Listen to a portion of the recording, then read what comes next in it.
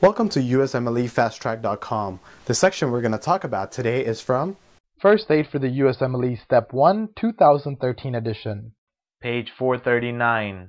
What is the clinical presentation of cranial nerve 3 damage? In cranial nerve 3 damage, the eye looks down and out along with ptosis, pupillary dilation, and loss of accommodation. What is ptosis? Ptosis is the drooping or falling of the upper eyelids. What is the classic clinical presentation of cranial nerve 4 damage? The clinical presentation of cranial nerve 4 damage is the eye moves upward, particularly with contralateral gaze and ipsilateral head tilt. So with this condition, you would have problems going downstairs because when you look down, the eye is going to move upward. What are the classic clinical presentations seen with cranial nerve 6 damage?